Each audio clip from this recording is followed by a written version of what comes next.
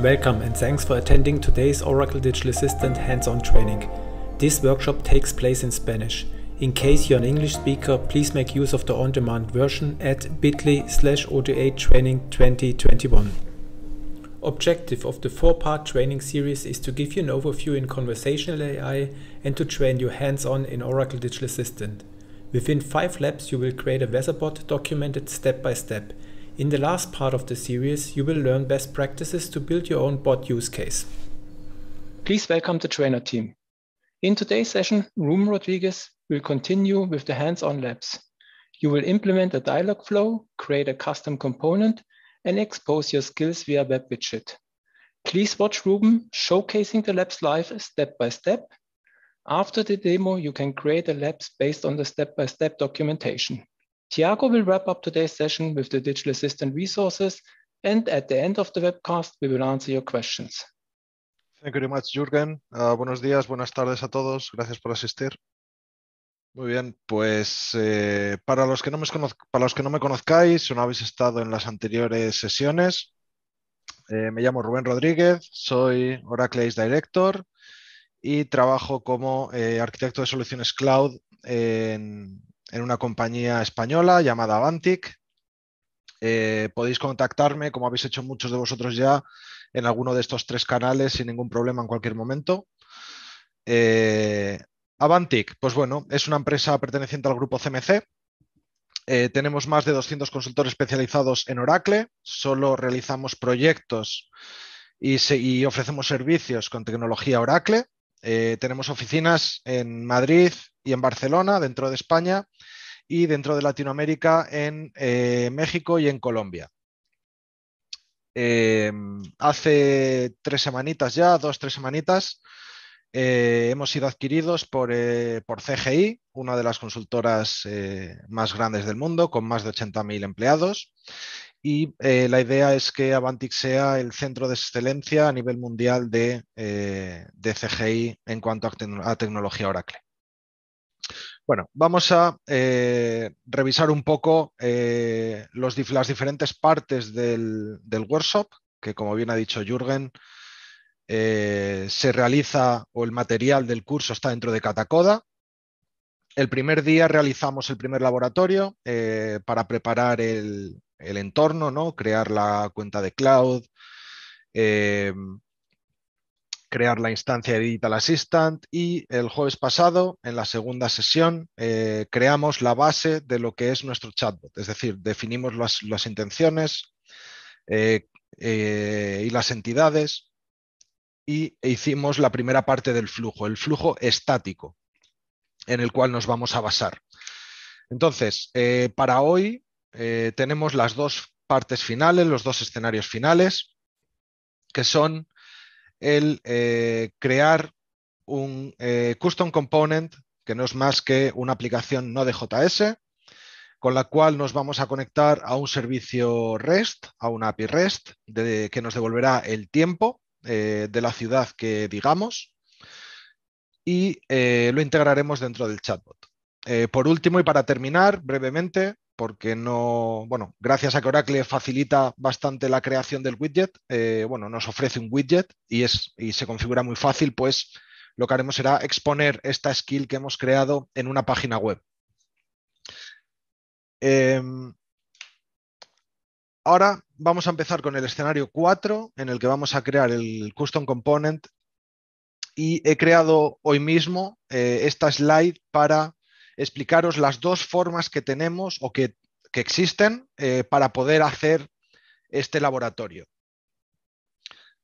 En el lado izquierdo podéis ver eh, una caja que hace referencia a Catacoda. Catacoda es una plataforma de training que incluye eh, distintas funcionalidades, como puede ser un entorno Linux que se puede utilizar y también se puede integrar eh, dentro de este entorno el Visual Studio Code. ¿vale? ¿Cuáles son las pegas de este entorno? Que tiene eh, una hora de timeout, es decir, que si tardáis más de una hora en hacer eh, laboratorio 4 y 5, no va a funcionar, vamos, va a dejar de funcionar y tendréis que repetir otra vez los pasos del laboratorio 4. Y la segunda limitación es que si cierras este tab o esta ventana del navegador donde estás, eh, donde has realizado el escenario 4, vas a perder también eh, conectividad. ¿Por qué? Porque lo que hace Catacoda es generar una URL eh, o exponer el servicio en una URL para poder consumirse desde fuera.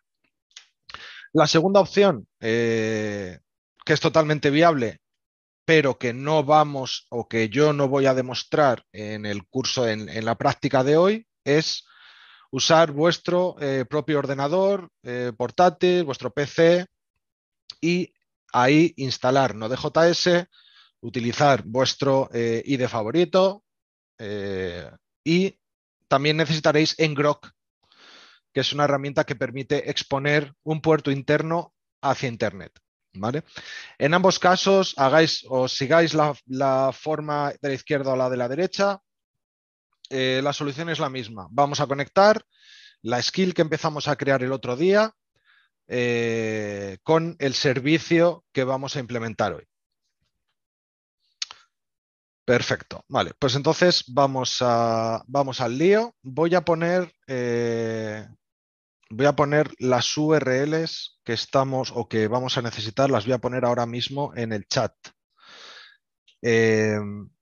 Un poco voy a repetir lo, que ya dije el otro día. Eh, es recomendable que mientras yo esté haciendo la práctica, vosotros atendáis e intentéis entender eh, cómo se hace y el por qué se hace de esta manera.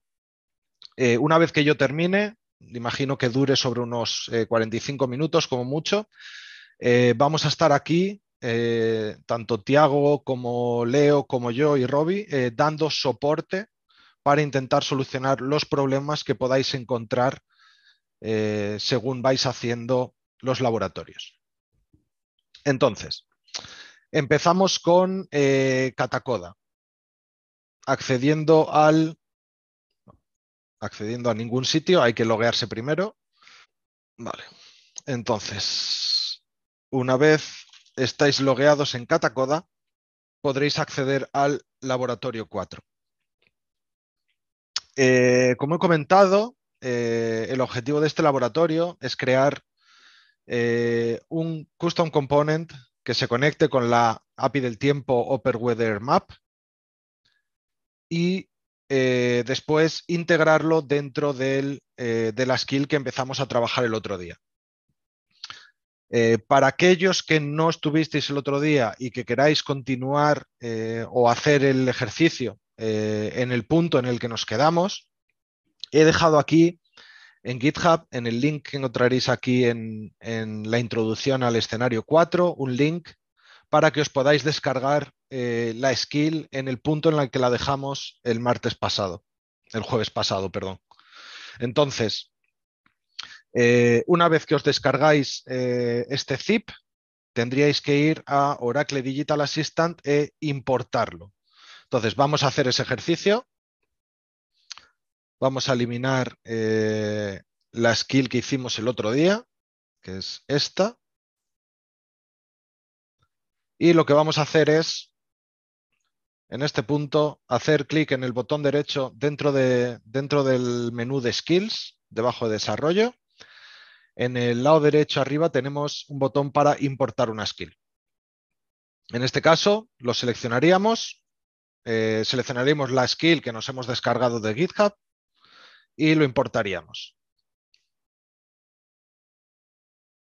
Perfecto. En este punto, eh, ya y sin, realizar ninguna modificación, ya podríamos eh, hacer lo mismo que hicimos el jueves pasado, ¿no? Preguntarle por el tiempo. El tiempo en Madrid, por ejemplo. ¿Vale? Y nos eh, devolvería el tiempo que estáticamente configuramos eh, de Madrid el día 22 del 4 de 2021. Entonces, el objetivo, como dije, es eh, que esta información sea dinámica y se obtenga de un servicio REST. Perfecto. Entonces, ahora, eh, lo primero que tenemos que hacer, y me voy a poner esto para aquí pastelado, es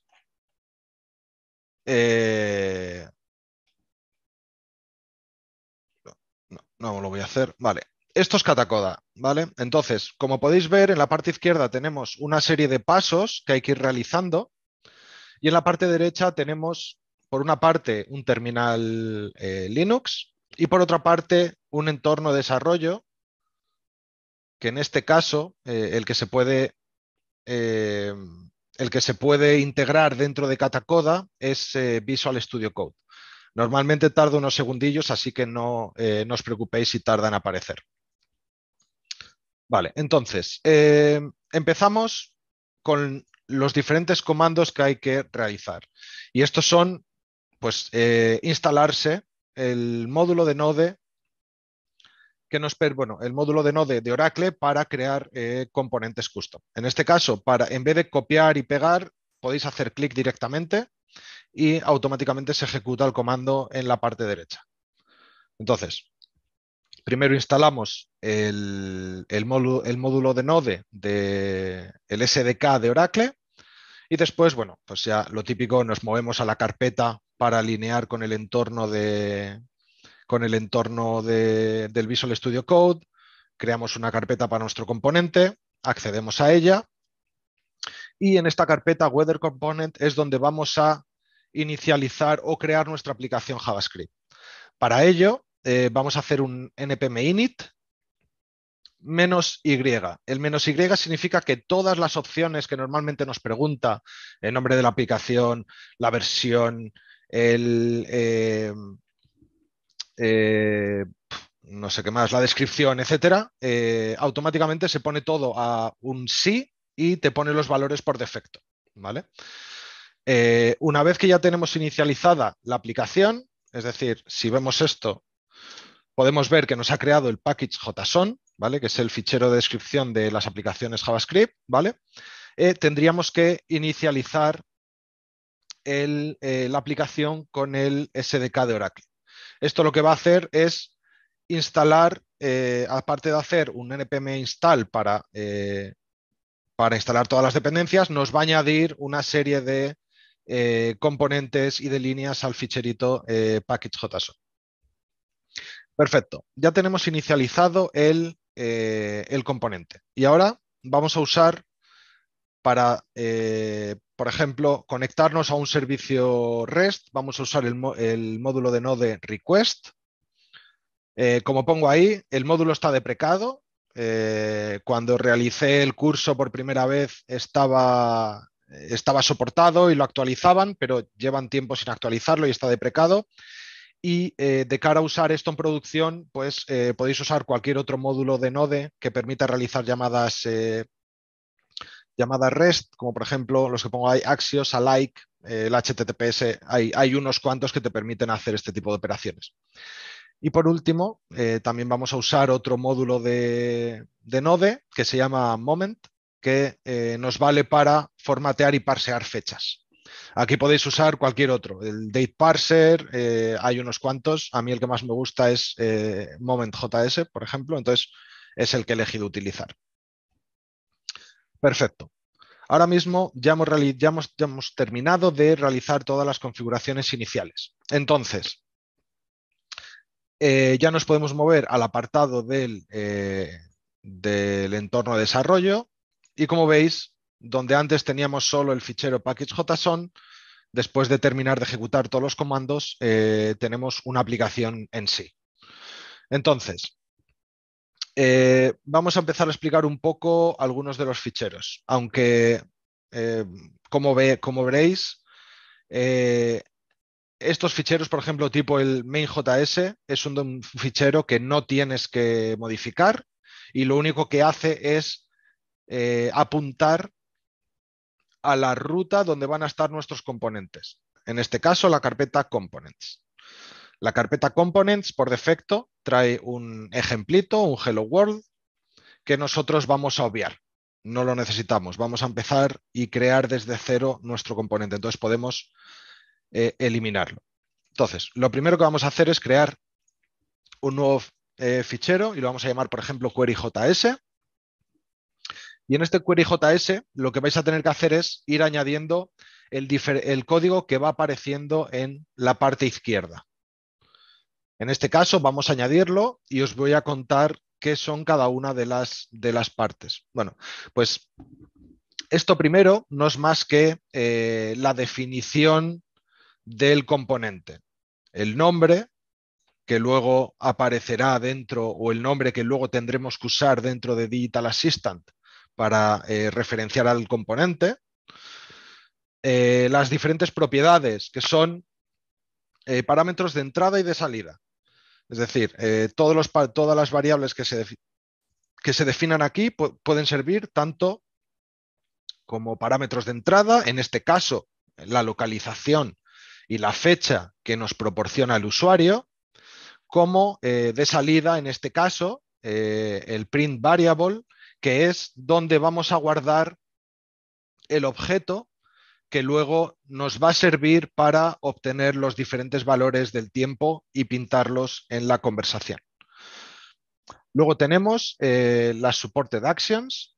Esto no es más que el diferente los diferentes outcomes que puede tener eh, nuestro componente.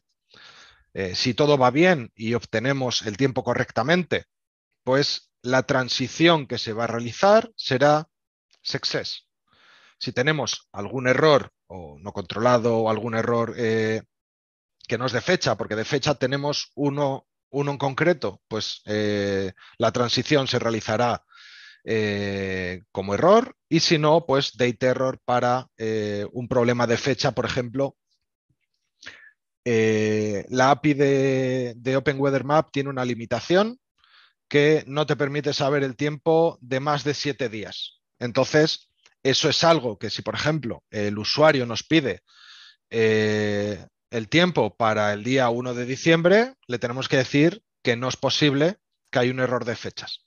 Entonces, por eso está eh, especificado una transición eh, en caso de que la fecha no sea correcta. Perfecto. Eh, lo siguiente que vamos a hacer es obtener los valores de estas variables que se están declarando como parámetros de entrada y de salida. Entonces, para eso usaremos estas, estas cinco líneas de código la función o, el objeto de conversación, este de aquí, incluye, eh, es propio de Oracle e incluye diferentes funciones y, eh, que nos permitirán realizar operaciones, por ejemplo, como obtener las propiedades, eh, que es el listado este de aquí, obtener las variables que están definidas dentro, de, dentro del flujo de, vamos, dentro de Digital Assistant, eh, nos permitirá, por ejemplo, construir mensajes estructurados eh, que luego son entendibles por el widget, etc. Hay diferentes, hay diferentes funcionalidades que nos ofrece. En este caso, lo único que vamos a usarlo ahora mismo es para obtener las propiedades y las variables. Entonces, eh, ¿esto cómo funciona? Vale, pues ahora lo que estamos haciendo es obteniendo, en este caso, utilizando el conversation.properties, estamos obteniendo la, eh, el valor de la variable location variable. En este caso, el valor de la variable date variable. Y en este caso, pues el valor de la variable print variable. Entonces, eh, una de las cosas que, que, o una de las formas que me gusta trabajar a mí con componentes de este tipo es, en vez de pasar, pasarle al componente el valor de, por ejemplo, de una localización que es eh, Madrid, por ejemplo, en vez de pasarle el valor Madrid, lo que voy a hacer es pasarle el nombre de la variable que almacena ese valor. En nuestro caso, si recordáis, y vamos aquí, el nombre de la variable que almacena el valor eh, localización, eh, bueno, el valor de la ciudad que estamos preguntando es location. Con lo cual, a mí lo que me gusta hacer es que en este location variable se le pasa el nombre de la variable, en este caso location. Entonces, lo que vamos a hacer es, una vez que obtenemos el valor que se incluye dentro de esta location variable, vamos a obtener la variable, eh, el valor de la variable location. Es un poco lío, pero es una forma, es la mejor forma de trabajar porque si se modifica algo dentro del flujo de conversación, no tenemos que actualizar el código del componente, porque lo único que estamos trabajando son con referencias. ¿Vale? Eh, perfecto. Entonces, eh, lo siguiente que tenemos que hacer, empezar a eh, añadir las dependencias a los módulos que vamos a utilizar. En este caso, como comenté, el módulo request para realizar una llamada REST. Tenemos también que incluir la API key de OpenWeatherMap. ¿Cómo se obtiene esta API key? Pues muy bien. Eh, la URL ya la puse dentro de en el chat, con lo cual la podéis obtener, es openweathermap.org.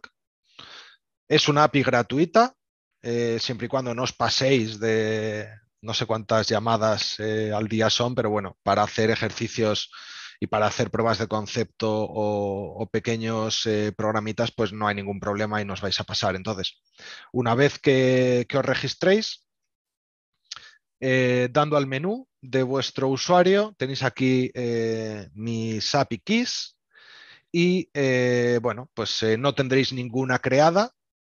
Entonces lo único que tendréis que hacer es venir aquí y decir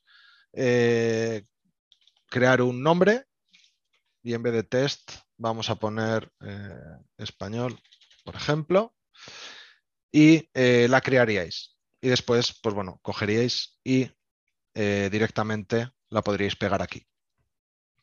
Y el tercer, eh, la tercera sentencia pues es el, el require de la API para eh, formatear y pasear fechas. Perfecto. Entonces, eh, lo siguiente que vamos a hacer es a crear dos llamadas, dos, dos funciones que van a realizar diferentes llamadas. Ah, y os preguntaréis, ¿y por qué vas a hacer, por qué tienes que hacer dos llamadas eh, para eh, obtener el tiempo? Pues bueno, pues es muy fácil. El tema es, eh, Open Weather Map tiene diferentes APIs. Entonces, hay una API que pasándole el nombre de una ciudad o de una localización, te devuelve el tiempo de un día. Y luego hay otra API que pasándole una latitud y una longitud, te devuelve el tiempo de hasta siete días. Pero eh, no hay una API que pasándole el nombre de una localización te devuelva el tiempo de siete días. Entonces, lo que tendremos que hacer es eh, ejecutar o crear una lógica en la cual, si me pregunta el tiempo de hoy, directamente vamos a llamar a la primera función que tenemos aquí, que es el tiempo actual. Pero si el usuario me pregunta por el tiempo que hace eh, o que va a hacer eh, mañana en, Madrid, pues tendremos que primero llamar a la API del tiempo actual, ahí obtener la latitud y la longitud y después obtener el tiempo de los siete días en esa localización. Una vez que hayamos llamado a la función de los siete días, podremos obtener el tiempo de mañana o de pasado mañana para esa localización. Entonces, eso es exactamente lo que vamos a hacer. Aquí lo explico todo, pero bueno, os lo cuento de palabra mejor. Eso es lo que vamos a hacer con esta, con la lógica de negocio que tenéis aquí a continuación. Entonces, vamos a copiarla y pegarla dentro de, eh, dentro de la función invoke, que es lo que se va a ejecutar cuando llamamos al componente. Y bueno, aquí, como os comentaba, eh, lo que estamos viendo es primero ver si eh, la diferencia de días es mayor que 7. Eh, si es mayor que 7, como os comenté al principio, vamos a decir que el outcome del componente es error. Y terminamos siempre los componentes con la llamando a la función done, que es, bueno, es, se recibe por parámetro de la función. Pero vamos, es llamar siempre, hacer la transición que haga falta, en este caso de error, y ejecutar la función done. Vale. Ahora, si la fecha es correcta, es decir, nos ha pedido el tiempo de hoy en una semana, pues lo primero que vamos a hacer es llamar siempre a la función eh, eh, current weather, que recordáis, pasándole una localización, nos devuelve el tiempo, el tiempo actual, el tiempo de ahora mismo. Entonces, eh, si no nos da fecha, acordaros que la fecha era opcional. Es decir, si nos dice cuál es el tiempo de París, le vamos a dar el tiempo actual, con lo cual, si no hay fecha o nos pide el tiempo de París para hoy, lo que tenemos que hacer es construir el objeto que vamos a devolver, que en este caso es la temperatura, el tiempo, si está soleado o no está soleado, eh, si está nublado, el icono para pintar el, em, pues las nubes o el sol, etcétera, y la fecha formateada eh, que nos han pedido. En este caso, la fecha de hoy. Vale, en caso de que eh, pues la fecha que nos ha pedido sea desde mañana hasta siete días desde hoy, pues tenemos que hacer otra llamada a la función eh, Seven Days Forecast, pasándole, como os comenté, la latitud y la longitud, porque son los parámetros que esta función, los únicos parámetros que esta función eh, necesita para pasarnos el tiempo de los siete días. Entonces, una vez tenemos eso, lo que tenemos que hacer es eh, pintar o construir el objeto eh, obteniendo los valores eh, que define el día. ¿vale? Día es un, empieza en, empieza en 0 hasta 7, hasta, bueno, hasta 6, perdón, de 0 a 6. Entonces, dependiendo del día que nos pida, pues obtenemos una posición u otra del array que nos devuelve el servicio. Entonces, una vez tenemos el objeto construido, lo único que tenemos que hacer es ejecutar lo mismo eh, aquí, se terminaría la función y vendríamos aquí, ¿vale? Se ejecutaría la transición al éxito y la función done. Como siempre, hay que tener cuidado eh, y crear, pues eso, eh, en este caso estamos usando promesas, pues en los catch siempre hay que crear la transición o asignar el outcome error para después poder eh, desde el flujo de conversación, pues eh, redirigir al usuario al estado, al estado correcto. Vale, continuamos. Y en este caso ya hemos terminado nuestro componente. Vamos a formatear el código. Perfecto, guardamos. Entonces, el código está terminado. Eh, lo que tenemos que hacer ahora, ejecutar el componente. Entonces, para ejecutarlo hay que ejecutar este comando, bot node SDK, service y el puerto donde lo vamos a ejecutar. En este caso, como os dije, en Catacoda, eh, con que hagáis clic en el comando ya se va a ejecutar. Y eh, como veis, por mucho que se está ejecutando en el, en el puerto 3000, eh, si vais un poco más abajo, podréis ver una URL que es la que almacena o donde vais a poder ejecutar el componente. Si probamos, aquí podéis ver que el componente es weather query, los parámetros de entrada y el outcome. Al final es lo que os comentaba de la parte del metadata que define la función. Esto luego eh, Digital Assistant lo entiende y le vale para eh, crear eh, pues la estructura esa dentro de, dentro de la plataforma. Entonces, dentro de vuestra skill, en el menú de componentes, que es este de aquí, podéis añadir el servicio. ¿vale? Eh, hay cuatro formas de eh, hay cuatro formas de consumir servicios o consumir componentes. El primero es el embedded container, que esto lo que hace es, o lo que tendrías que hacer es implementar el componente, empaquetarlo con un npm pack y subirlo dentro de, dentro de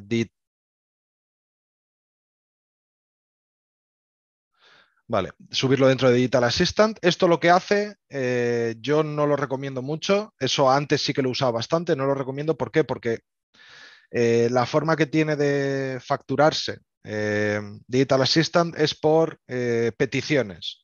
Y cada llamada a un servicio embebido dentro de Digital Assistant es, te cuenta como una petición más. Entonces, hay formas mejores y más, eh, creo que económicas para realizar esto. Otra opción es eh, Oracle Mobile Cloud, eh, Oracle Mobile Cloud o, Oracle Mobile Hub, que es el nombre del servicio ahora mismo. Es un producto de Oracle enfocado a APIs y movilidad, como su nombre indica. Entonces, se podría crear ahí una API y un mobile backend para eh, alojar este componente. Eh, la tercera que hay es eh, Oracle Function. como sabéis, es un servicio de Oracle, de OCI, en el que pues, se pueden crear funciones para algo parecido a los que habéis usado Lambda en Amazon Web Services, etcétera. ¿Vale? Y por último, que es el que vamos a usar, es el externo. El externo es que tú alojas donde quieras el componente ya sea en vuestro data center, ya sea en eh, Kubernetes dentro de Cloud Oracle, dentro de cualquier cloud, donde queráis, ¿vale? Entonces, aquí lo que tenemos que usar es esa URL que hemos visto antes de Catacoda y eh, ponerla en metadata URL y como nuestro componente no está, eh, no está protegido ahora mismo, aunque si esto lo hacéis en un entorno productivo es recomendable que esté protegido, eh, pues podemos poner usuario y contraseña lo que queramos. ¿Vale? Daríamos a crear y eh, se nos conectaría al servicio. ¿Cómo sabemos si está bien, si funciona o no funciona? Bueno, pues aquí podéis ver que hay diferentes propiedades, aparte de algunas que, bueno, que son propias de Oracle, pues tenemos el print variable, el location variable y el date variable. Estas son nuestras tres, eh, nuestras tres propiedades de entrada y salida.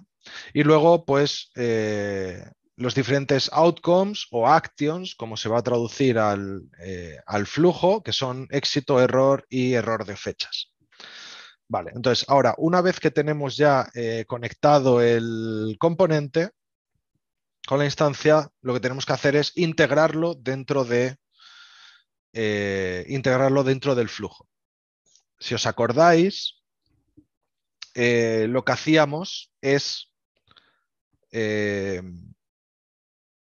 cuando el usuario preguntaba por el tiempo, lo que hacíamos primero era intentar obtener una fecha de, la frase que nos ha dado el usuario eh, si no la obtenemos no pasaba nada y pasábamos directamente a pedirle la localización.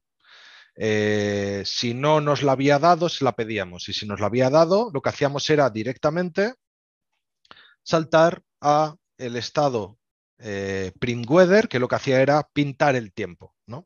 Entonces, aquí ahora lo que vamos a tener que hacer es incluir un estado nuevo que lo que haga es realizar esa llamada al componente.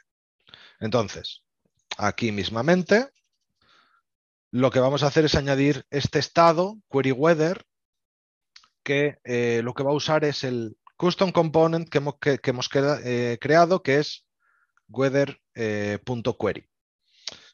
Eh, ahora lo veis, como os comenté el primer, la primera sesión práctica del jueves pasado, todos los estados usan un componente, todos y cada uno, ya sea un componente propio del sistema, como el text, como el output, como el intent, etcétera, o un componente eh, personalizado que creáis que creéis vosotros. En este caso, weather.query.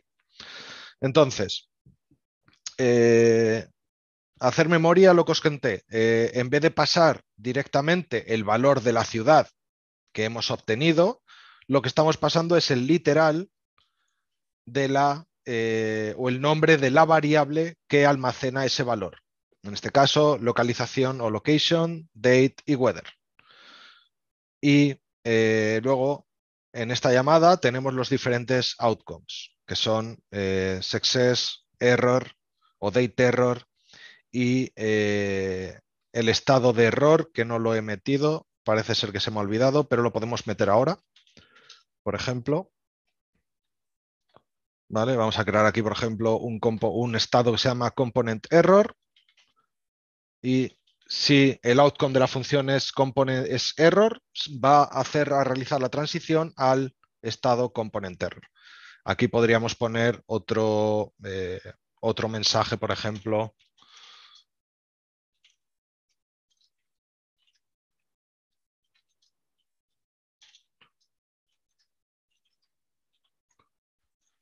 Vale, un mensaje eh, cualquiera de que ha habido un error. Perfecto, entonces ahora mismo eh, en este punto eh, hemos conectado este componente y lo que tenemos que hacer es modificar un poco el flujo de conversación. Acordaros que después de pedir la localización directamente nos íbamos al estado de pintar el tiempo. Entonces lo que nos interesa es que una vez tengamos la localización, podamos o podamos navegar o transicionar al estado donde realizamos la llamada. Entonces, lo que tenemos que hacer es eh, cambiar esta transición de print weather a query weather.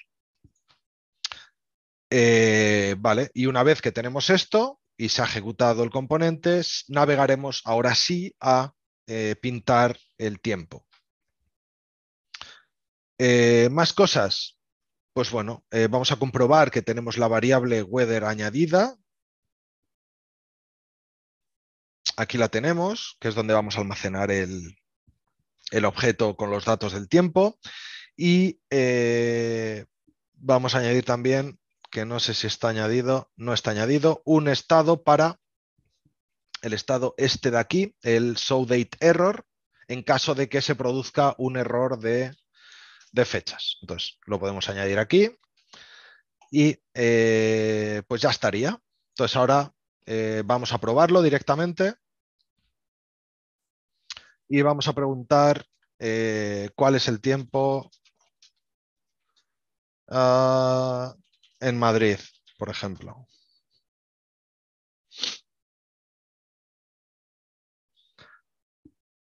Vale, entonces ahora eh, os voy a enseñar, antes de abrir las variables ahí, os voy a enseñar Catacoda, que eh, como veis, pues se ha ejecutado el componente ¿vale? Y se obtiene aquí los diferentes valores y se rellena la variable eh, con los valores que obtenemos del servicio. Entonces, ¿cuáles son esos valores? Pues tenemos aquí rellena la variable weather con eh, la fecha de hoy, en este caso, en vez de la estática, acordaros que... Eh, vale, y ahora tenemos que hacer una cosa. acordaros que la fecha como podéis ver, sale estática, el icono también y la temperatura pone 20 grados y ahora hace bastante más frío. Entonces, eh, eh, en el print weather aquí, sí, he copiado el que no era, el print, bueno, no lo he cambiado, de hecho, el print weather, por eso sigue saliendo estático. Entonces, eh, en Catacoda también tenéis el, código de este estado nuevo, que es print weather, Vamos a ver que esto cuadra. Sí, vale. Entonces, ahora, eh, ahora sí, ¿vale? Esos son warnings solo. Entonces, ahora sí, que se me había olvidado cambiar el, componente. Si preguntamos por el tiempo en Madrid, pues ahora sí que saldrá actualizado con la fecha de hoy, exactamente con los 13 grados que habíamos visto, eh, que habíamos obtenido del servicio, etcétera. ¿Vale? Eh, lo mismo si preguntamos por cualquier otra ciudad. Vamos a probar con... Eh,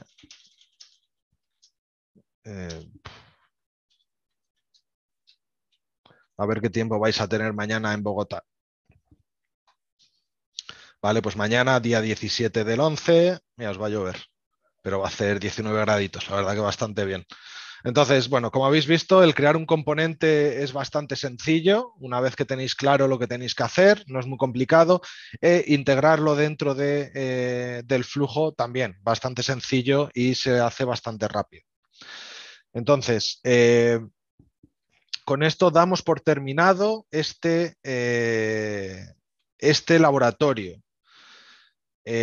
acordaros lo que os dije. Esta pestaña de Catacoda no podéis cerrarla. Si la cerráis, vais a perder el componente.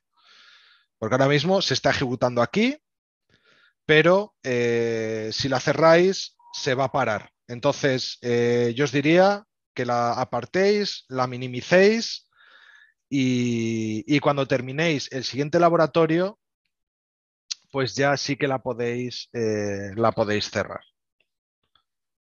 Eh, lo mismo que en otros casos, eh, dentro de... Eh, una vez que llegáis aquí al final del laboratorio, tenéis el link al flujo completo, ¿vale? Que está en GitHub con todos los cambios que se han realizado. Y eh, también tenéis el código entero del componente eh, que hemos implementado. En caso de que lo queráis descargar y ejecutarlo en local, lo tenéis aquí mismo en GitHub también para que os lo podáis descargar. Entonces, vale, hemos terminado el laboratorio 4, perfecto. Y lo siguiente que vamos a hacer es, eh, pues bueno, exponer eh, el chatbot dentro de una web, que es un, eh, bueno, pues un requisito que, pues que normalmente la mayoría de los clientes necesitan. Entonces, esto es lo que vais a conseguir, una aplicación, una página web con esta ventanita eh, que se puede minimizar y demás, eh, donde podéis acceder al chatbot. Eh, como digo, o como reitero aquí, es obligatorio tener el laboratorio anterior, ejecutándose, es decir, con la ventana abierta, para que se pueda acceder a los datos del tiempo. Si no, no os va a funcionar. Vale, pues lo podemos empezar entonces. Y bueno, aquí fue un... Ahora vamos a repetir un poco lo que ya os conté antes, ¿vale? Que era eh, cómo crear un canal. Em, pues bueno, eh, el canal es muy sencillo. Eh, lo único que tenéis que dar aquí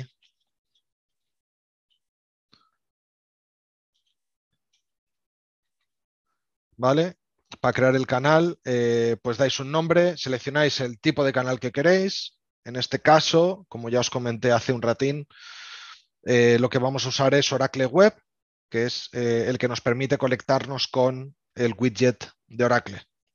si queréis o si necesitáis en vuestros proyectos otro canal que está soportado nativamente, tipo Facebook Messenger, Slack, aplicación móviles, etcétera, pues lo seleccionáis directamente. Y si no, eh, siempre podéis usar el webhook que eh, os, permitirá, os permitirá conectaros a cualquier eh, canal que no esté soportado nativamente, tipo WhatsApp, tipo Twitter, etc. Entonces, ahora mismo nosotros vamos a usar Oracle Web y para el ejemplo vamos a deshabilitar la autenticación. No necesitamos autenticación. Esto, autenticación, lo que hace, si la habilitamos, es utilizar un eh, token JWT, ¿vale? Que tendríamos que implementar el, servicio que nos devuelva este token y luego desde el widget eh, obtenerlo para validarlo. Entonces, eh, lo vamos a deshabilitar y también muy importante especificar cuáles son los dominios a través de los que, de los que se puede acceder. Por defecto no se puede acceder a ninguno, pero podemos habilitar los dominios. En este caso, y como bueno, es una prueba, es un laboratorio, podemos poner un asterisco, pero en un entorno productivo, eh, lo mismo que la autenticación. Eh, es recomendable eh, especificar los diferentes dominios a través de los cuales se va a acceder para, bueno, pues para que sea todo más seguro. Entonces, una vez tenemos rellenos los datos, pulsamos en el botón de crear y lo siguiente que tenemos que hacer es seleccionar la skill o digital assistant. Acordaros que podemos exponer a través de canales tanto skills, que son los chatbots eh, normalmente de un único propósito, y después también podemos exponer Digital Assistant, que son pues los agregadores de skills. ¿Vale? Entonces tendríamos que venir aquí y seleccionar nuestra skill del tiempo. Una vez que la tenemos seleccionada, ya podríamos activar el canal. Si os fijáis en la parte de abajo, tenemos eh, dos valores que vamos a, eh, bueno, vamos a necesitar uno, que es el Channel ID. Este valor lo vamos a usar ahora a continuación eh, dentro de Catacoda para poder vamos, para que el widget apunte a este canal en concreto. Entonces, ¿cómo se configura ahora el widget? Pues vamos a verlo. Esta parte ya la hemos hecho de creación, de, eh, de creación del canal. Seguimos. Y ahora eh, lo que vamos a hacer es levantar dentro de eh, Catacoda pues una página web. Entonces, igual que en el laboratorio anterior, esto lo podéis hacer en local, en vuestra máquina, o podéis hacerlo dentro de Catacoda. Entonces, para hacerlo dentro de Catacoda, hacéis clic en, o nos movemos a la carpeta para sincronizarlos con el entorno de desarrollo, con el Visual Studio Code para estar en la misma ruta y nos vamos a descargar el código que tengo preparado eh, con el widget. Una vez que está descargado, eh, vamos a hacer un npm install para, para instalar todas las dependencias. Y eh, continuamos. Y ya estaríamos listos para, para investigar un poco qué, qué elementos tenemos dentro del widget tardar unos segundillos. Perfecto. Vale, pues eh, dentro de, del, bueno, dentro de la página web con el widget hay diferentes, eh, diferentes, o para configurarlo hay que hacer diferentes cosas. Para empezar, eh, vamos a ver los scripts, ¿vale? Aquí tenemos dos ficheros. Uno es el web SDK, que es bueno, la librería en sí de Oracle ¿vale? Esto es recomendable no tocarlo, eh, con lo cual os digo que es la librería para que lo sepáis, pero no vamos a tocarlo. Y después tenemos el settings eh, JS, que es donde vamos a realizar la configuración del widget. Eh, después, importante, dentro de la página en sí, del HTML, donde queráis exponer, el, donde queráis exponer el widget, pues bueno, hay que añadir las dependencias a esos dos ficheros, al settings, que es donde vamos a configurar eh, el widget, y a la librería de, eh, a la librería de, Oracle. ¿vale? También eh, podríais configurar un, un ficherito CSS, que no vamos a usar ahora, pero para realizar ciertas modificaciones a mayores de la que os permite a través de la configuración del widget. Entonces, eh, bueno, eso es lo que cuento aquí. Y ahora lo que vamos a hacer es, eh, eh, pues bueno, ver un poco cómo se organiza este fichero settings.js. Vale, empezamos con la autenticación. si os acordáis, dentro del canal en Digital Assistant hemos dicho que no queremos autenticación. ¿Vale? Entonces, esto tiene que estar a false. Si quisieses autenticación, tendréis que cambiar esto a true y además, por eh, ¿Dónde está? Igual lo modifique para que no tal. Eh, sí. Entonces, si esto fuese true, lo que tendríais que hacer es implementar estas funciones. Es decir, aquí hay, eh, pues bueno, para obtener el token JWT, pues tendríais que implementar esta función fuera de este componente, evidentemente, porque si no, no tiene, no tiene mucho sentido. Tendríais que crear un servicio, alojarlo en, algún servidor para que genere el, el token JWT. Eh, y realizar la llamada a este servicio, eh, pues bueno, eh, pero vamos, que no os preocupéis, no lo vamos a hacer ahora. para hacer esto, vamos, que lo tengáis en cuenta en caso de que hiciese falta en vuestros proyectos. Vale, lo siguiente que, tenemos es el objeto de configuración. ¿Vale? tenemos aquí, la configuración se realiza pues, con un JSON, ¿vale?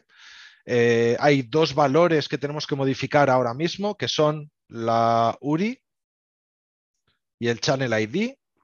Ambos se obtienen de la instancia de Digital Assistant. La URI la tenéis en el navegador, es este valor de aquí. ¿Vale? Lo copiaríais, lo pegaríais aquí. Y el Channel ID lo mismo. Tenéis aquí abajo el valor este, lo copiáis y lo pegáis aquí. Perfecto. Entonces, eh, ahora. Vale, después aquí eh, tenéis una propiedad que se llama User ID. Este User ID, si no, lo, si no se lo das, eh, te genera uno automáticamente. Entonces, en caso de que este widget lo tengáis dentro de un sitio seguro, de un sitio donde requiere usuario y contraseña para acceder eh, lo suyo sería que este user ID sea un identificador del usuario que está logueado para que después, pues bueno, eh, enviándolo al servicio, pues podáis obtener podáis obtener eh, valores relacionados o valores de ese usuario. ¿no? Eh, aparte de esta configuración base, pues bueno, tenéis internacionalización. Eh, podéis cambiar literales, o sea, todos los literales que aparezcan en el chatbot se pueden modificar o en el widget se pueden modificar. colores de todos los tipos, vamos, de todas las partes de la ventanita que ahora vais a ver, etcétera. todos los comandos que se pueden hacer eh, o modificaciones que se pueden hacer se encuentran dentro del de, User Guide. ¿vale? Aquí tenéis, por ejemplo, pues bueno, aquí no se ve muy bien la verdad porque estamos en, eh, bueno, no, es muy grande el trozo de pantalla que tenemos, pero eh, por ejemplo, pues hay clases CSS que podéis hacer, que podéis hacer override, pues las que queráis de todas las partes del widget, etcétera, ¿vale? Entonces, una vez que hemos configurado, eh, una vez que hemos configurado la URI y el Channel ID, lo que vamos a hacer es eh, ejecutar el widget. Entonces, volvemos al terminal, accedemos dentro de la carpeta y ejecutamos la aplicación que contiene el widget. Entonces, eh, tendríais que hacer clic en este link que pone Web Widget y se os abrirá esta URL. Esta URL es una página que no tiene nada, ¿vale? Y en la parte derecha, el iconito este de Oracle, si lo abrís, pues bueno, eh, podréis preguntarle eh, o conectar con vuestro chatbot. Entonces, eh, podemos preguntarle cuál es el tiempo en Madrid y nos devolverá los datos, pues bueno, que igualmente obteníamos dentro del tester de la plataforma Editar Assistant.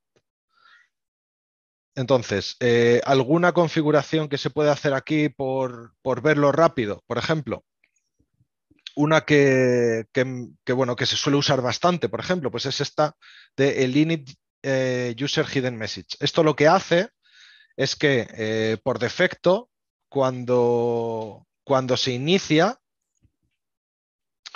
eh, se manda eh, por debajo, es decir, oculto, un, con un mensaje, eh, el que definas aquí, como si el usuario lo hubiese dicho. ¿Esto qué nos permite? Vamos a matar esto. Vamos a ejecutarlo otra vez. Esto nos permite que a la que entremos aquí, automáticamente el usuario haya escrito como un hola por detrás y el chatbot conteste con lo que tengamos definido, eh, eh, bueno, pues a la respuesta a esa intención, ¿vale? Más cosas que se pueden hacer, por ejemplo, eh, bueno, pues no tengo más cosas, pero vamos, cambiar colores, como os dije, tenemos aquí, voy a tener que ir para atrás, bueno, no voy a dejar aquí porque no tengo que volver a repetir todos los pasos para, Pensé que había un paso más, tendría que repetir todos los pasos, pero vamos, habéis visto que eh, esto se puede modificar todo. Eh, por ejemplo, para que sean eh, colores corporativos, este widget de aquí es el mismo que el de Oracle, es usando el widget de Oracle y estamos usando colores, bueno, colores corporativos, en este caso del Ayuntamiento de Madrid. se pueden poner imágenes de fondo, cambiar el color de los, de las eh, diferentes eh, bocadillos de los mensajes, eh, habilitar y, deshabilitar componentes. En este caso, pues si no permitimos la voz, pues se puede eliminar el botón, etcétera. entonces, bueno, pues por mi parte ya hemos terminado el curso. espero que os haya gustado a todos y bueno, pues vamos a estar aquí eh, hasta las seis al menos para eh, daros soporte en, mientras vosotros vais realizando el curso.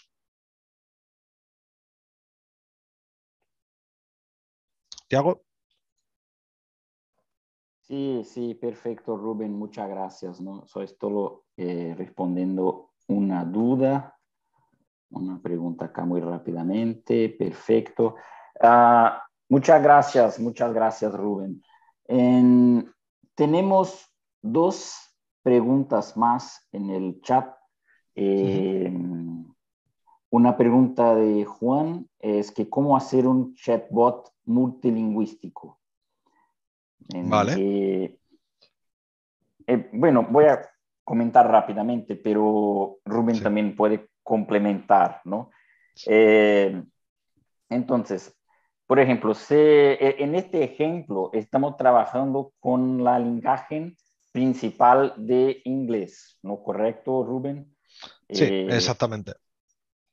Entonces, primeramente, se, se, van a desarrollar un bot, eh, obviamente no van a querer trabajar con español.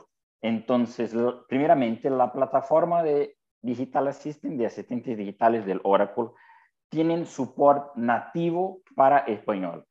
Entonces van a empezar el desarrollo con la lenguaje de español, de español y todas las intenciones, todas las, las, las, las, las frases ¿no? que van a imputar el usuario ¿no? van a ser en español.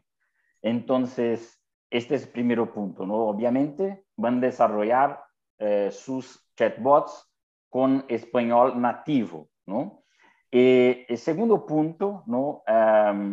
hay un recurso que, que, no estamos presentando ahora, pero creo que vamos a hablar en el último día de, de, esta capacitación, que es el uso de uh, Resource Bundles, ¿no? que son, es una funcionalidad que ustedes pueden crear las traducciones para más de una lenguaje. Eh, automáticamente ¿no? el bot van a, eh, van a escoger el, el, el resource bundle correspondiente a la lenguaje que está trabajando para presentar las, uh, las mensajes, ¿no? Entonces, con eso puede desarrollar un bot uh, multilingüístico, ¿no? Y no sé si... Sí, sí mira, voy a hacer, porque, eh, bueno, justo presenté esto hace unas, unas semanas aquí en Madrid, eh, preparé una demo un evento y yo creo que en cinco minutos la puedo hacer. Entonces, eh, aquí tenemos un chatbot, ¿vale? Que lo, que lo único que hace es, eh, pues bueno, eh, se conecta a un resource bundle, como ha dicho Tiago, ¿vale? Y en el resource bundle lo que tenemos es pues dos cadenas. Este es un mensaje en español y este es un, bueno, este es un mensaje en inglés y este es un mensaje en español, ¿vale? Entonces, si yo ejecuto esto y le digo que hola en inglés, lo que va a hacer es obtener la cadena en inglés, ¿no? Vale, entonces, como bien ha dicho, eh, como bien ha dicho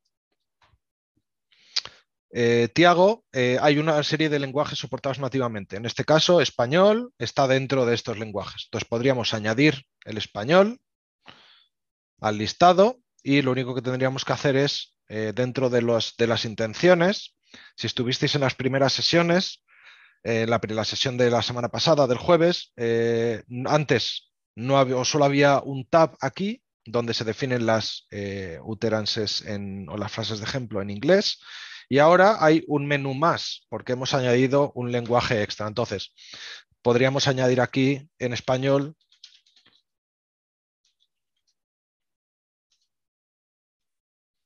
Diferentes, eh, diferentes frases para entrenar esta, esta intención y eh, después de entrenar al bot, vale. Entonces ahora, después de entrenar al bot, eh, por lo mismo, si le dices sola, lo que va a hacer automáticamente es obtener el mensaje en inglés, pero ahora si le dices, bueno, si le dices sola en inglés y si se le dices ahora en, en español, te va a obtener el mensaje en español. Es decir, lo que tiene incluido nativamente en el caso de español e inglés Oracle es la detección eh, y después lo que es pintar el mensaje en un idioma a otro, eh, lo recomendable es hacerlo a través de Resource Bundle. Pero vamos, el crear bots multidiomas es eh, bastante sencillo. Lo único que, como es normal, hay que entrenar en los diferentes idiomas que, quieras. Lo bueno, que las frases de ejemplo que añadas en inglés se van o van a servir de ayuda para completar las frases que tengas en español. Es decir, no tienes que poner la traducción exacta de inglés en la de español, sino que las que tengas en inglés van a servir para entrenar también el modelo en español. Pero bueno, sí, en general eh, se puede hacer, es bastante sencillo y bueno, pues probadlo, os lo recomiendo, está muy bien la funcionalidad esa. Em, más preguntas. A ver, eh, para los proyectos de implementación de ODA, ¿cuáles serían los roles y responsabilidades en general del equipo de trabajo?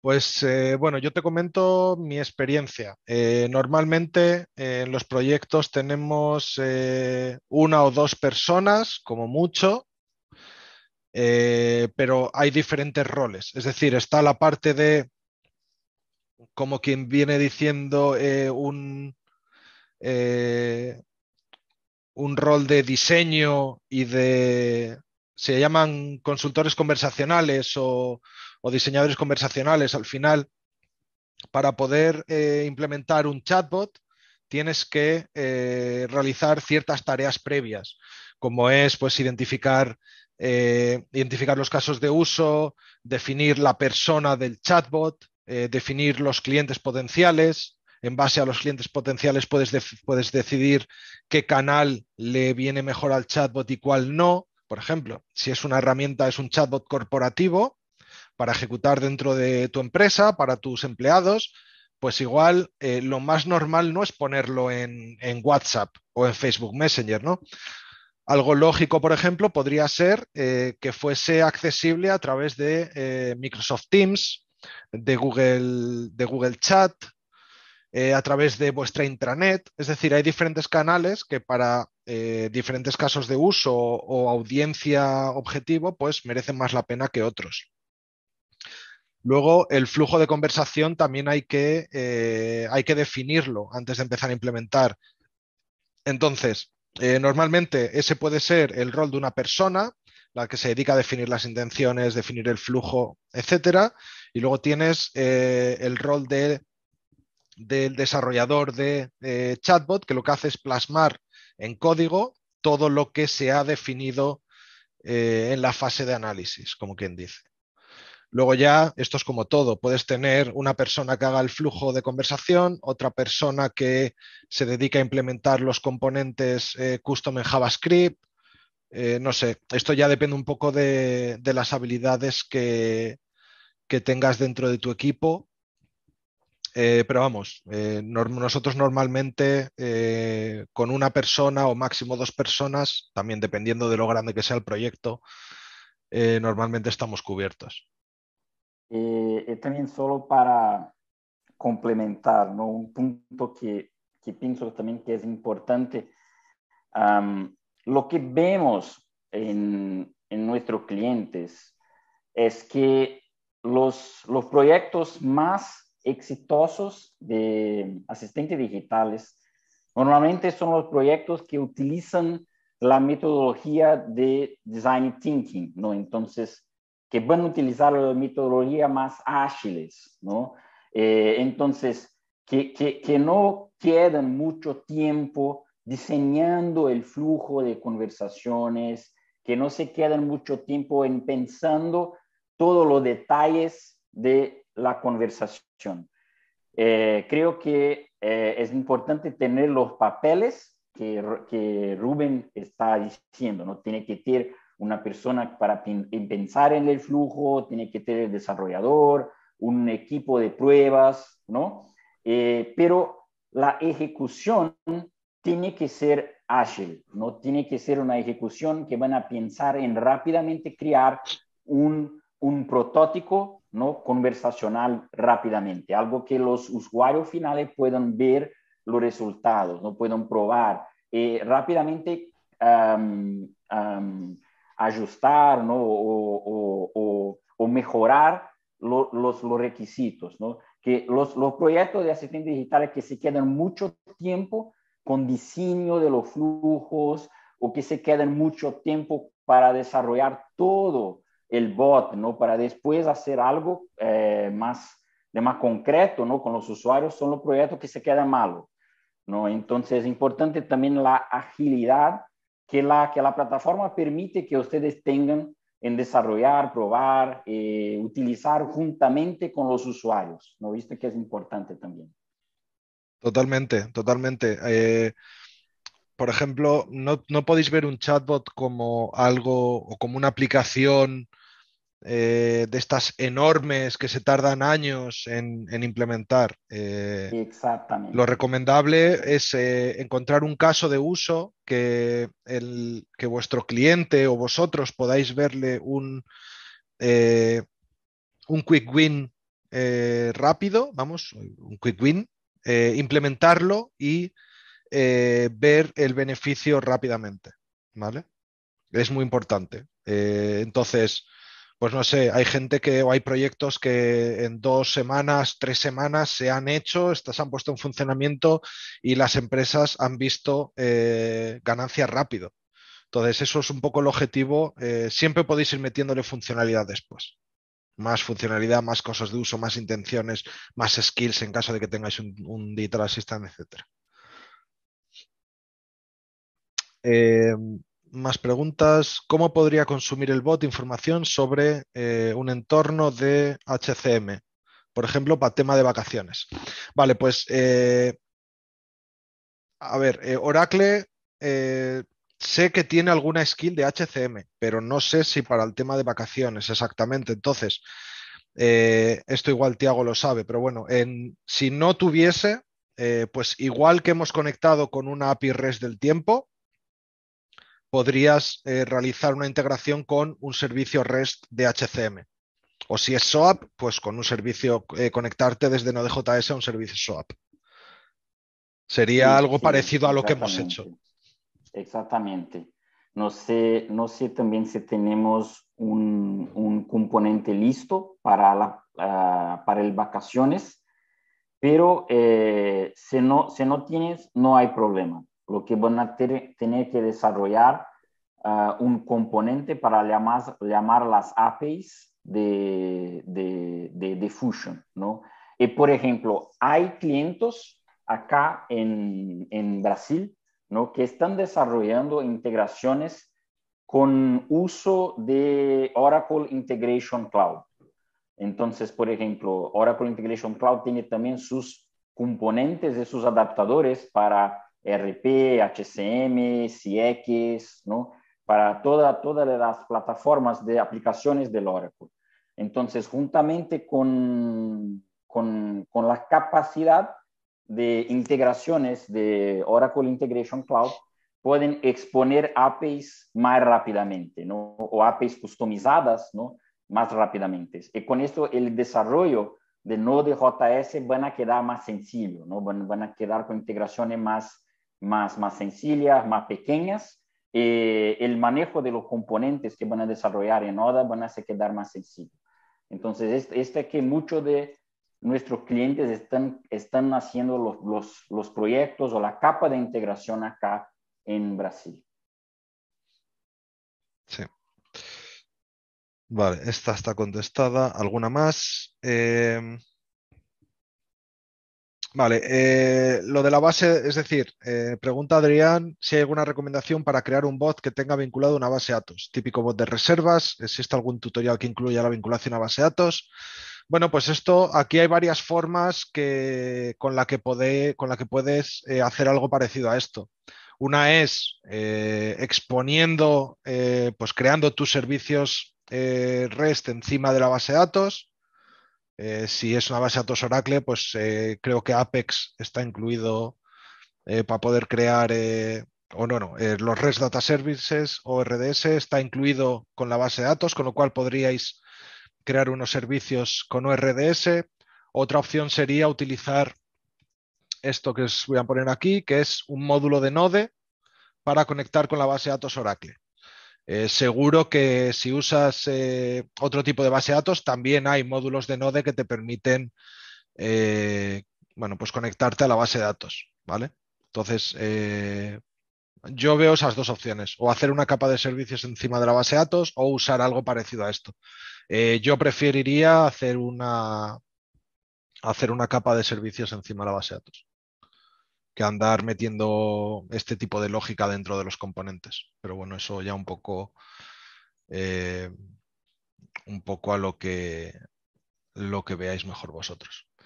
Eh, ¿Algo más? Sí, hay una, yo estoy escribiendo en la respuesta de Adam, hay un enlace con, con ejemplos más técnicos de desarrollo. Y hay un ejemplo de cómo pueden utilizar una base de datos vinculada a un asistente digital.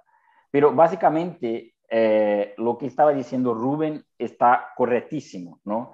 Eh, se, se, van, por ejemplo, a utilizar una base de datos o van a exportar datos de asistentes digitales van a trabajar con una base de datos separada del, del, entorno de asistente digital, del ODA. ¿no? Pueden trabajar con una, una, base de datos autónomos, ¿no? como el servicio de nube del Oracle. Pueden trabajar con el base de datos del cliente on-premise, no sé si hay servicios también para ascender esta base de datos, ¿no? si hay una, una, una capa de APIs no pueden utilizar cualquier base de datos.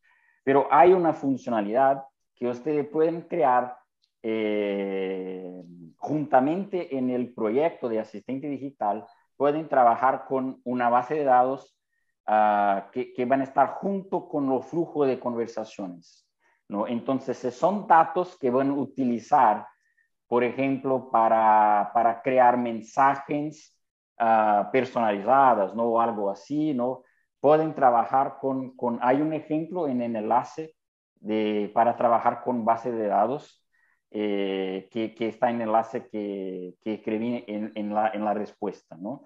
Pero eh, depende de cómo van a trabajar los datos, ¿no? Si los datos están vinculados totalmente con el flujo de conversación, pueden trabajar con esta funcionalidad que está en el enlace.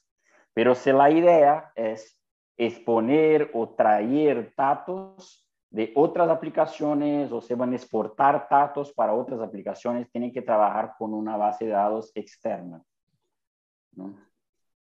Sí. A ver, más preguntas de Carlos. Eh, sí, QNA, el módulo, bueno, la funcionalidad de QNA es, eh, está deprecada, entre comillas, es obsoleta, eh, que es esta de aquí, ya no se usa. Entonces, eh, como bien dices, y recomendamos el otro día usar eh, Answer Intents. Eh, ¿Cómo puedo mostrar un menú con las diferentes preguntas y respuestas? vale, pues hasta donde yo sé, no hay una opción para, para listar todas las preguntas que tengas definidas como intenciones. Ahora bien, si lo que quieres es, eh, por ejemplo, que el usuario pueda eh, hacer clic en un botón o diga, quiero ver todas las, todas las preguntas y te aparezcan todas, yo creo que lo mejor sería crear una entidad de tipo de valor donde estén puestas las diferentes preguntas. Y luego con eso, es decir, una entidad de, eh, de value list, que sea fax, por ejemplo, y aquí lo que podrías hacer es añadir las diferentes preguntas. Es un ejemplo. ¿eh?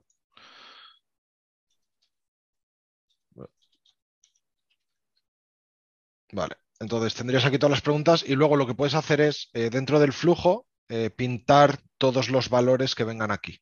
Esto sí que se puede hacer de poder pintar todos los valores que tenga la variable eh, fax. Esto sí que se puede hacer. Pero vamos, desconozco hasta donde yo sé que se pueda obtener el listado de intents en, eh, en, el flujo. Ahora bien, si lo que es, si para lo que lo quieres es para, eh, por ejemplo, si el usuario pregunta, hace una pregunta y hay varias preguntas que son o que podrían dar respuesta a lo que ha a lo que o varias respuestas que podrían dar eh, que podrían contestar lo que ha preguntado el usuario, eso hay una forma de, o sea, si hay varias, hay una forma de configurar eh, el motor de, reconocimiento para que si hay varias intenciones dentro de un, eh, ¿cómo decirlo? Dentro de, de un porcentaje, por ejemplo, si hay varias preguntas en, o hay varias intenciones que identifico en un 15% de, de certeza, pues eh, dile al usuario que elija una de ellas. Eso, eso sí que se puede hacer por configuración, pero lo de mostrar todas las opciones o todas las preguntas yo creo que no se puede hacer. Sí, el, punto es importante. Eh, la pregunta de Carlos es importante porque normalmente lo que vemos, ¿no? Entonces es, ¿por qué Oracle está haciendo esto? ¿no? Porque normalmente lo que vemos en nuestros clientes es que los bots de wiki, no algo que es solo una pregunta con una respuesta, normalmente no son bots que ayudan los clientes, ¿no? Eh, que no hay, una, no hay una inteligencia artificial que van a comprender lo que el cliente realmente necesita hacer. Entonces, es por eso que estamos cambiando, ¿no? Para el uso de las preguntas juntamente con el flujo de conversación, para que con el uso de inteligencia artificial, con el machine learning, nosotros vamos a poder entender mejor ah, lo que los usuarios están buscando, el comportamiento del usuario, y que también pueda con eso mejorar cada vez más ah, su, su, bot, su, su, su servicio ¿no? que van a desarrollar. Y normalmente este tipo de flujos que es solo una, una, una, pregunta con una respuesta, ¿no? algo que es una wiki, ¿no? un, un, un, un FAQ, ¿no? no es algo que, no es un bot que realmente van a ayudar en caso de uso eh, eh, reales ¿no? de clientes. Entonces, por eso que es importante tener el flujo de conversación juntamente con la inteligencia artificial para que ustedes puedan comprender el comportamiento del usuario, para que ustedes puedan desarrollar nuevas funcionalidades, para cada vez más su bot tener más asertividad en ayudar sus, sus clientes, sus usuarios, todo esto. Entonces, este es que está juntamente con el cambio de la, de la, de la funcionalidad. Eh, a ver, más, más preguntas. Eh, voy a saltar la de Felipe para el final porque no es exactamente... Sí, hay, eh, eh, el, el, pregunta de Felipe es justamente lo que estaba diciendo Rubén. No sí, pero no sé, no sé si se refiere a, porque como hemos estado conectando el canal a una skill, o si es de si tienes un Digital Assistant con varias skills, o no sé exactamente a lo que se refiere. Sí, sí. Creo, creo que, que, que, la pregunta de Felipe tiene un escenario que está más relacionado con, con tener un asistente digital con varias skills, ¿no? Con varias skills. Entonces, hay, una, hay un componente de enruteamiento que, que, que, está junto con asistente digital. Este componente van a utilizar la inteligencia ¿no? de, de, machine learning, de inteligencia artificial para enrutear las intenciones del cliente para la habilidad, para la skill correcta. ¿no? Entonces, esto es, es una responsabilidad de asistente digital. La responsabilidad de usted como un desarrollador o como, un, una, como, como una persona que va a mejorar eh, el bot es tener las utterance, ¿no? Eh, que son las frases, todo, eh, que, que, estén, que estén más, más que esté más, más trabajando con, con, más asertividad con las intenciones de sus usuarios. ¿no? Entonces, en, lo, lo, que ustedes van a, a, percibir al desarrollar un asistente digital con más de una habilidad es que dependiendo de la, de la, de la frase del usuario, ¿no? el bot van a tener dudas de cuál es la intención correcta. ¿no? Y obviamente, ¿no? usted puede presentar ¿no? con una configuración, obviamente, ¿no? usted puede presentar un menú para que el usuario van a, van a escoger la intención que desea. Pero normalmente lo que, lo, lo, que ustedes buscan como desarrolladores es que el bot, ¿no? el asistente digital, van a escoger automáticamente la habilidad eh, que van a, a, atender a una solicitación de sus usuarios.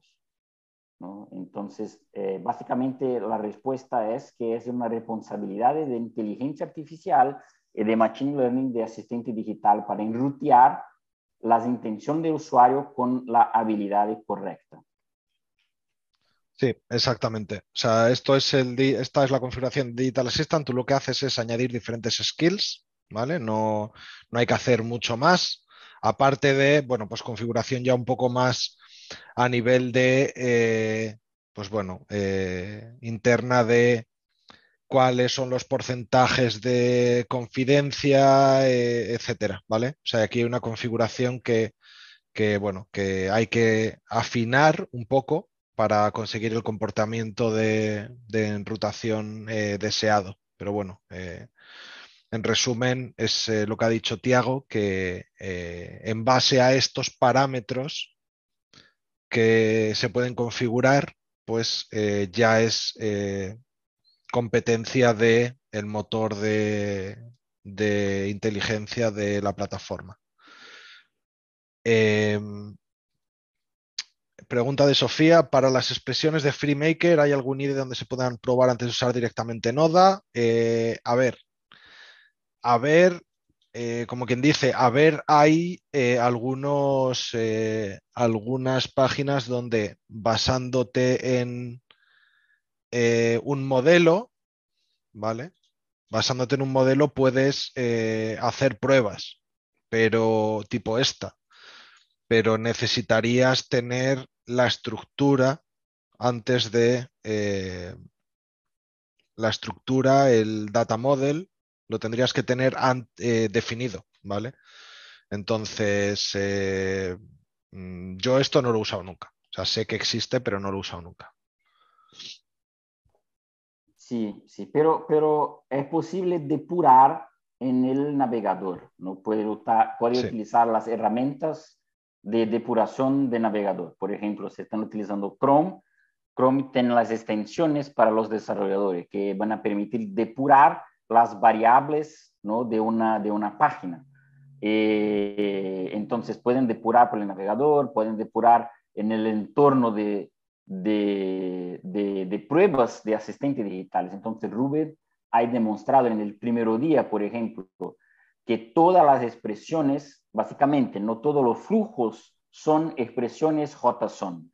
¿no? Entonces, puede depurar los JSONs en, en, en, en, el, en, el, en el plataforma de ODA o con las extensiones de depuración de browsers. ¿no? Esto, esto es que tiene que hacer. No hay no hay algo que, que básicamente van a escribir ¿no? las, las, las, las, extensiones correctas, ¿no? Tiene, tiene que desarrollar y depurar. Sí, además eh, en el tester este, por ejemplo, eh, se puede ver en la parte derecha pues las diferentes variables con los valores, podéis ver el JSON en el que se basa, en el que se basa, bueno, de donde se obtienen los valores eh, de la conversación. O sea, no es una, o sea, por eso digo que esta herramienta de aquí no es algo que yo haya tenido que usar nunca porque en base a esto que tienes aquí es bastante fácil construir las expresiones. Sí, y otro punto, ¿no? Ustedes pueden escribir en sus componentes puede printar los logs también, ¿no? Entonces, dependiendo del dónde... o sea, esto, lo que está diciendo Tiago es esto de aquí, ¿vale? Si esto al final, esto. porque es catacoda, pero si lo tenéis instal eh, lo estáis ejecutando en vuestra máquina, lo mismo.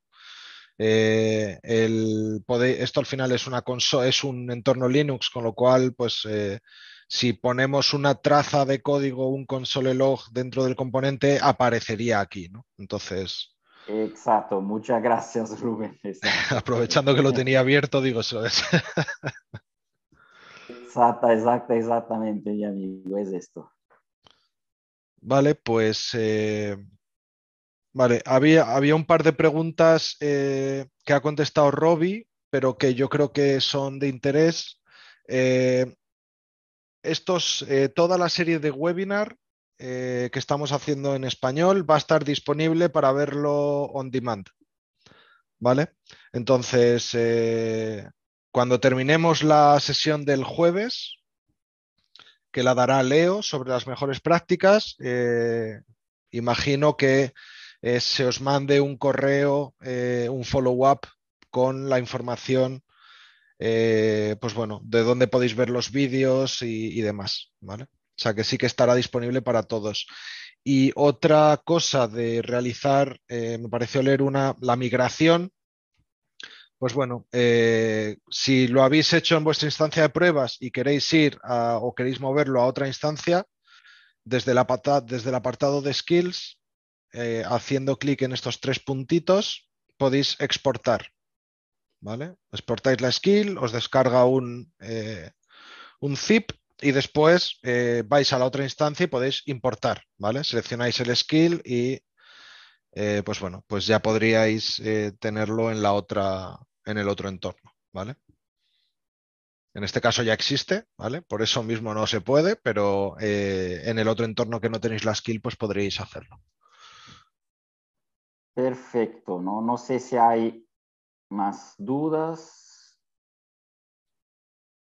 Ah, ¿Puedo modificar el nombre de una skill ya creada? a ver. Si hay, una, un edit, sí. Sí, hay un edit, pero no puedes modificar el nombre. Tienes que, o sea, como se suele hacer esto, como lo solemos en caso de que haya que hacer algo de eso, es, eh, tendréis que exportar la skill, editar el fichero este, ¿Dónde está esto? Sí, creo que es el bot JSON. Sí, eh, que, que, no me dejaba hacer clic ahora. Vale, el bot JSON tendréis que modificar este valor, ¿vale? En vez de weather skill, pues poner aquí lo que sea, ¿vale? No sé si me va a dejar aquí modificarlo. No me deja porque esto es solo lectura. Tendréis que modificar el nombre y modificar eh, la versión, esta, el dialog version, este, el platform version no, el, eh, ni esto, la versión, este y el nombre, ¿vale? Este y este. Y eh, lo volvéis a empaquetar en un zip y lo importáis. Es la única forma que creo que hay de modificar el nombre de una skill. Porque al versionar no sé si te deja. Ah, mira, al versionar sí que te deja. No, no te deja cambiar. Sí, el, punto es que, es que la, la tienes. Solo es posible tener un, mismo nombre con una misma versión. Sí. ¿no? Entonces, la versión, el nombre es la clave de identificación, ¿no? Por ejemplo, para, para, para crear sus bots, ¿no? Entonces, este es que es importante, ¿no?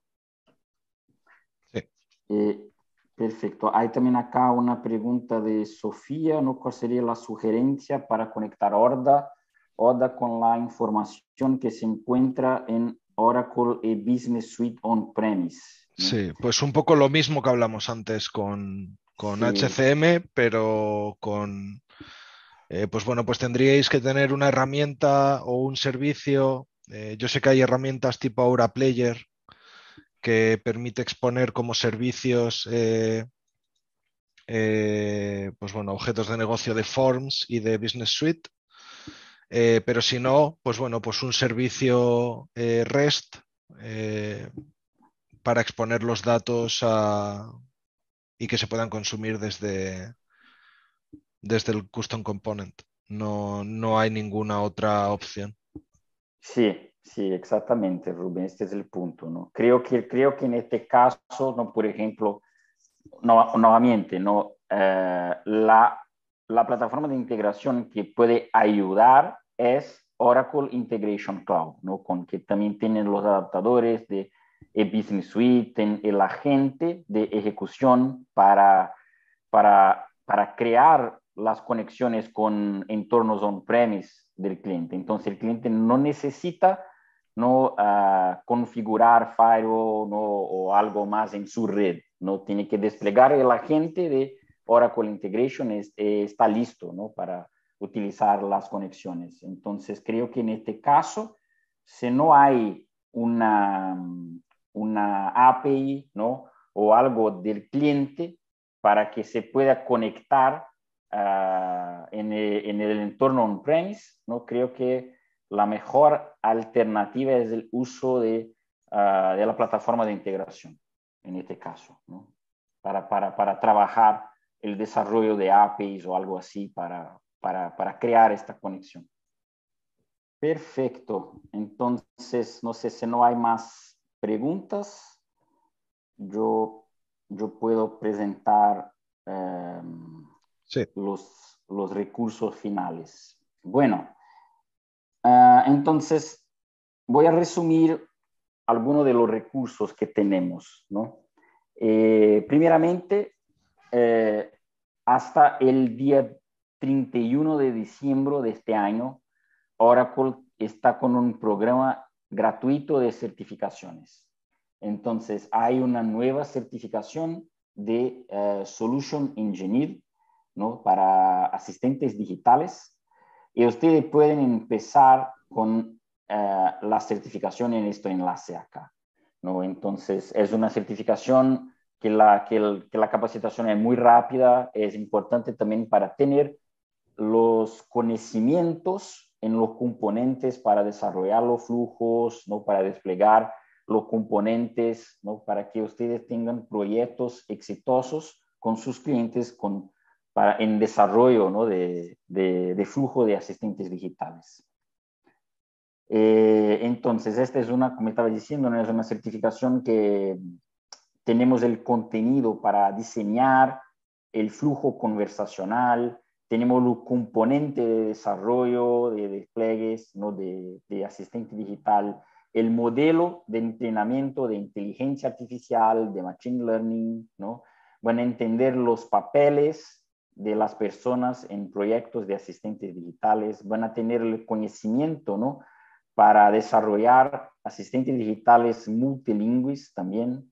Eh, obviamente, ¿no? van a tener proyectos exitosos, ¿no? van a tener los certificados, ¿no? Van a sacar la certificación del Oracle, que también Oracle van a reconocer ustedes como expertos en la plataforma de asistentes digitales. Estos son algunos de los recursos más que tenemos. Entonces, el sitio web de asistentes digitales, la parte de los enlaces de documentación, donde también hay Archie, ¿no? Archie que es un, un miembro de nuestro equipo que también puede ayudar a ustedes para responder sus dudas, sus preguntas. ¿no? Se están desarrollando algo, eh, gustarían de, tener una respuesta más rápida para una duda, una pregunta, pueden pregun preguntar a Archie. ¿no? Ah, los, las certificaciones ¿no? que son brindadas para ustedes son gratuitas. Entonces acá también la certificación del, del asistente digital. Todos los labs el, de que estamos haciendo juntamente con Robbie, ¿no? entonces el enlace de Catacoda, eh, los, los, los boletines de artículos ¿no? para nuestros clientes y para nuestros uh, partners. ¿no? Eh, entonces los enlaces para nuestros clientes y nuestros partners, ¿no? para que ustedes puedan ver las últimas novedades que están ocurriendo en el entorno de asistentes digitales una vez más, ¿no? Este es nuestro equipo, ¿no? Arte, ¿no? Que puede ayudar a ustedes también. Rubén, que está presentando todos los labs, ¿no? Leonardo, el Robbie, yo, ¿no? Tiago y Jürgen, también que todos nos podemos ayudar a ustedes con dudas, preguntas, con la parte de capacitaciones. Perfecto. Bueno, muchas gracias a todos, ¿no? Por, por su presencia en, en, esta capacitación, por su tiempo, por sus preguntas. Eh, vamos, vamos a quedar acá algunos minutitos más para responder cualquier otra duda que ustedes tengan, ¿no? Pero muchas gracias a todos por su participación, muchas gracias a Robbie por, por hacer todos los labs, ¿no? Muchas gracias a Jürgen, a todos ustedes.